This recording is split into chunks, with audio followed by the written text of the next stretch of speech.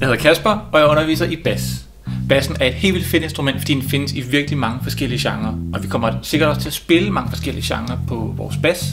Jeg skal nok lære dig, hvordan man gør, fordi vi starter bare stille og roligt med at spille med en enkelt finger, og vi skal hurtigt have gang i musikken, fordi at bassen er meget rytmisk, og den er en del af grundstrukturen i rigtig meget forskellig musik. Du må også godt nogle gange vælge, hvad vi skal spille, og øh, når du begynder at gå lidt længere tid til bas, så skal vi kigge på, hvad tonerne hedder, og hvordan akkorder fungerer. Måske lære lidt mere avancerede teknikker og begynde at bruge flere af vores fingre, når vi spiller. Bassen er faktisk et helt vildt fedt instrument at have med i bands og i samspil i det hele taget. Så jeg vil helt sikkert også prøve at få dig ud og få dig i gang med nogle bands, hvor du kan stå og spille og føle, hvor fedt det er at spille sammen med andre og opleve den her gode musik, man skaber sammen med andre mennesker.